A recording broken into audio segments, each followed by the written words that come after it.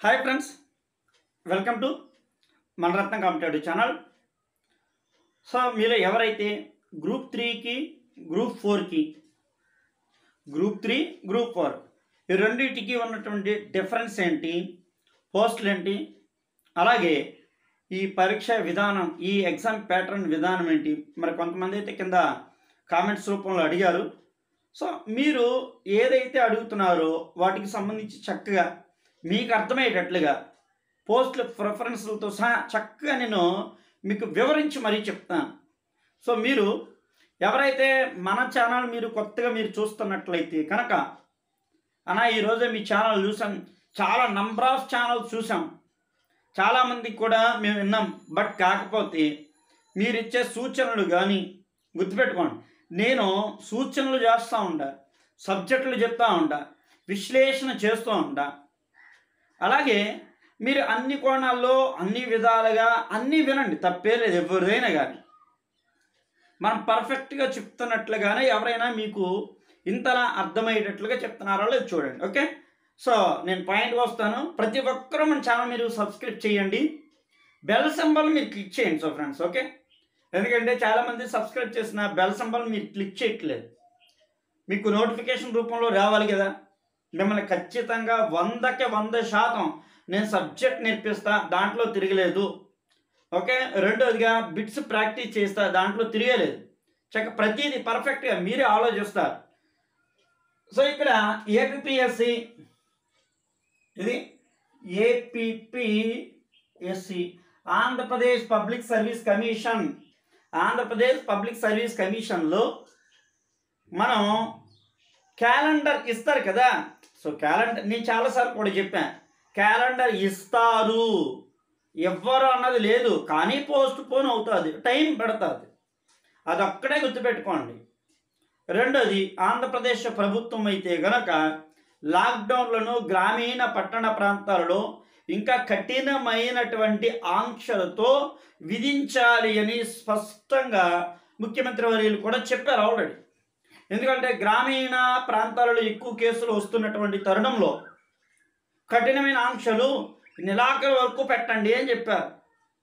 మరి ఉదయం ప్రధానమంత్రి గారు కూడా చాలా స్పష్టంగా తెలుగు రెండు రాష్ట్రాలు దీనికి నిజంగా ఇద్దరు రెండు అంటే తెలుగు రెండు రాష్ట్రాల ముఖ్యమంత్రి గారిని అభినందించవలసినటువంటి తరుణం ఈ విషయం. ఎందుకనంటే చెప్తున్నాను చాలా జాగ్రత్తగా వినండి.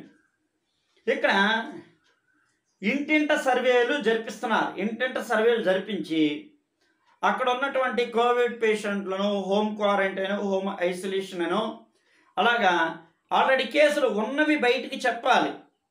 అదేవిధంగా పాజిటివ్ రేట్లను. దేశంలో రెండో స్థానం ఏపీ ఉందని కూడా మనం ఈరోజు కూడా చూసాం. సో ఇలాగా ప్రతిదీ జరిపించాలి అని ఉన్నది వాస్తవాలను ఇప్పుడు వైరస్ ప్రాబ్లం కదా. సో వాస్తవాలు బయటికి తీసుకురావాలి. అలాగే ఈరోజు ఇద్దరు వ్యక్తులు అయితే కనుక బ్లాక్ ఫంగస్ బ్లాక్ ఫంగస్తో ఎందుకనంటే second wave third wave black fungus ఒకవైపునేమో Tauktae తుఫాను. చూడండి ప్రకృతి ప్రజల మీద ఎంత వెలయ తాండం చేస్తున్నటువంటి దృశ్యం కనబడుతుంది మనకి. సో ఒకటి కాదు కదా మనం అన్ని కోణాల్లోనూ అన్ని విధాలుగా అన్నీ కూడా మనం ఆలోచించుకుని చర్చించుకోవాలి. ఓకే? సో ఇక్కడ మనం ఏపీఎస్సి క్యాలెండర్ క్యాలెండర్ అయితే వస్తుంది బట్ కాకపోతే టైం పడుతుంది. అది అది ప్రభుత్వ నిర్ణయం. క్యాలెండర్ ఏపీఎస్సి క్యాలెండర్లో గ్రూప్ త్రీ చూడండి ఇక్కడ. గ్రూప్ త్రీ గ్రూప్ త్రీ ఒకటి నెక్స్ట్ గ్రూప్ ఫోర్ ఇది గ్రూప్ ఫోర్ ఇదేగా మీరు అడిగింది? చూడండి. నేను మీకు అర్థమవుతుంది. చాలా క్లియర్ కట్గా నేను చెప్తాను అర్థమవుతుంది. ఎడ్యుకేషన్ క్వాలిఫికేషన్స్ దీనికి విద్యార్హతలు విద్యార్హతలు టెన్ ప్లస్ టూ. విద్యార్హతలు ఎంత? Ten plus two. గ్రూప్ వరకు సో ఇక్కడ విద్యార్హతలు విద్యార్హతలు ఇక్కడ ten plus two plus three అంటే డిగ్రీ. So degree. వచ్చింది కదా? So group four junior assistant categories పోస్టులు పోస్ట్ ఏంటి? పోస్టు జూనియర్ జూనియర్ అసిస్టెంట్లు జూనియర్ అసిస్టెంట్లు గ్రూప్ ఫోర్ ఓకేనా? జూనియర్ అసిస్టెంట్ కేటగిరీస్ వివిధ శాఖలలో వివిధ శాఖలలో. Next group three so group త్రీకి వచ్చేప్పటికి ఇక్కడ పంచాయతీరాజ్ డిపార్ట్మెంట్ డిపార్ట్మెంట్స్ ఉన్నాయి. పంచాయతీ సెక్రటరీ పోస్ట్ ఇది పోస్ట్ వచ్చేప్పటికి పిఎస్ పిఎస్ గ్రేడ్ ఫోర్ ఇది grade grade grade four so ఇప్పుడు మీకు ఒక క్లారిటీ వచ్చిందని నేను ఆశిస్తున్నా.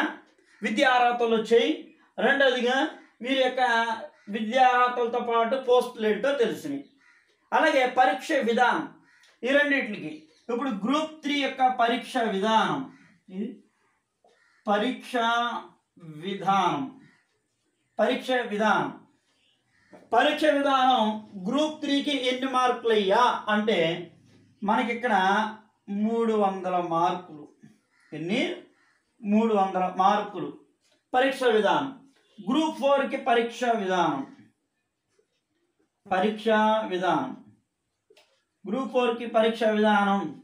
మళ్ళా ఇక్కడ మూడు వందల మార్కులు. లాస్ట్ టైము ప్రిలియమ్స్ జరిగాయి. ఓకేనా? ప్రిలియమ్స్ జరిగాయి. ఈసారి దాదాపుగా వందకి వంద శాతం ప్రిలియమ్స్ జరిగే ప్రసక్తే లేదు.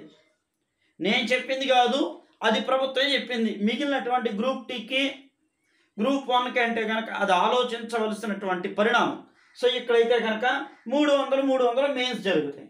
పరీక్ష విధానం. సో పరీక్ష విధానంలో paper one paper two morning paper one afternoon paper two ఇలాగా. పరీక్ష విధానం. సో ఇక్కడ వీటితో పాటు కానీ పరీక్ష విధానం వచ్చిందన్న పరీక్ష విధానంలో పేపర్లు ఏముంటాయి? గ్రూప్ త్రీలో పేపర్లు. గ్రూప్ త్రీలో పేపర్లు. పేపర్లో రెండు పేపర్లు ఉంటాయి. అని పేపర్లో ఇక్కడ కూడా పేపర్లో. రెండు పేపర్లు ఉన్నాయి.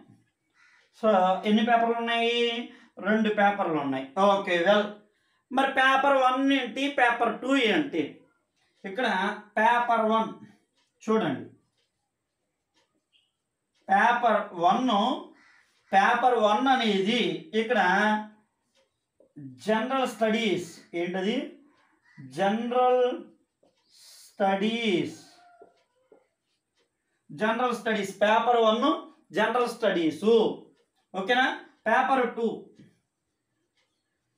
Paper two group త్రీలో పేపర్ టూ వచ్చేటప్పటికి గ్రామీణాభివృద్ధి.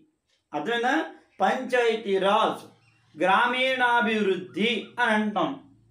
గ్రామీణాభివృద్ధి. గ్రామీణాభివృద్ధి. గ్రామీణాభివృద్ధి పేపర్ ఇందులో జనరల్ స్టడీస్లో అన్ని సబ్జెక్టులు వస్తాయి. ఒకటి కాదు రెండు కాదు.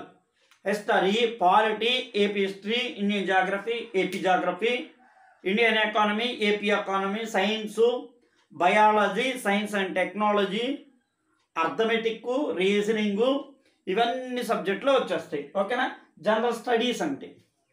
పేపర్ టూ గ్రామీణాభివృద్ధి అంటే ఇది నూట యాభై మార్కులు. ఇదొక నూట యాభై మార్కులు. మొత్తం మూడు వందల మార్కులు. మొత్తం మూడు వందల మార్కులు. గ్రామీణాభివృద్ధి అంటేనే కేంద్ర రాష్ట్ర ప్రభుత్వాలు. ఇందులో especially seventy three amendment and seventy four amendment. డెబ్బై మూడవ రాజ్యాంగ సవరణ డెబ్బై నాలుగవ రాజ్యాంగ సవరణ. పంచాయతీరాజ్ డిపార్ట్మెంట్లు మరియు మున్సిపాలిటీ పురపాలక నగరపాలక సంస్థల గురించి మనం పూర్తిగా క్షుణ్ణంగా చక్కగా చదవాలి.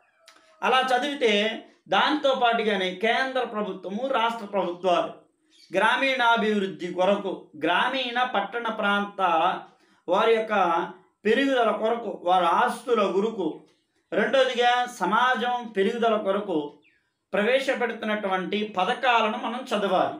ఓకేనా? ఇది. సో ఇలా చదవగలిగితే ఈ గ్రూప్ త్రీ మూడు వందల మార్కులకే నెగిటివ్ విధానం లేదు. ఓ క్వాలిఫైయింగ్ విధానం లేదు. వెల్ సో మరి ఎన్ని మార్కులు రావాలి? మూడు వందలకి. సో మూడు వందలకి దాదాపుగా నా అంచనా ప్రకారం నేను చెప్తున్నా అంతే. ఓకేనా ఇందులో మనకి రెండు వందల పది నుండి రెండు వందల పది నుండి రెండు వందల ముప్పై వరకు వస్తే వరకు వస్తే జాబ్ అండి. వంద శాతం. కొన్ని జిల్లాల్లో పోస్టులను బట్టి ఇది కూడా చెప్తున్నా కింద నోటు కీ నోట్ రాసుకోండి. పోస్టులను బట్టి పోస్టులను బట్టి. సో రెండు వందల పై చిలుకు ఉంటే కనుక ఖచ్చితంగా మనకి ఉద్యోగం రావడానికి హండ్రెడ్ పర్సెంట్ అవకాశం అయితే కనుక ఉంది. ఓకే ఇక్కడ గ్రూప్ ఫోర్కి రండి. గ్రూప్ ఫోర్కి వచ్చేటప్పటికి పేపర్లు ఎన్ని ఉంటాయన్నో రెండు పేపర్లు ఉంటాయి. Paper one. Paper one. చూడండి. పేపర్ వన్ అనేది జనరల్ స్టడీస్.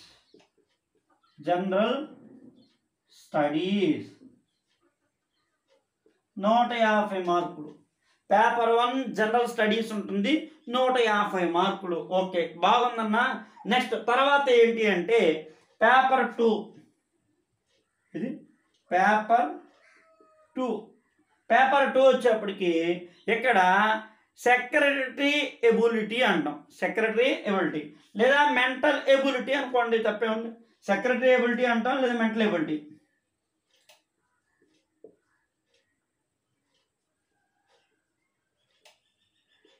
సెక్రటరీ ఎబిలిటీ మరియు మెంటల్ ఎబిలిటీ అంటాం.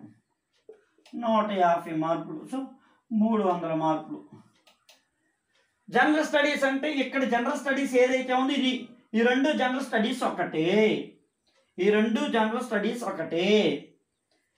ప్యా గ్రూప్ త్రీలో ఉన్న జనరల్ స్టడీస్ గ్రూప్ ఫోర్లో ఉన్న general studies common next paper టూకి వచ్చేప్పటికి.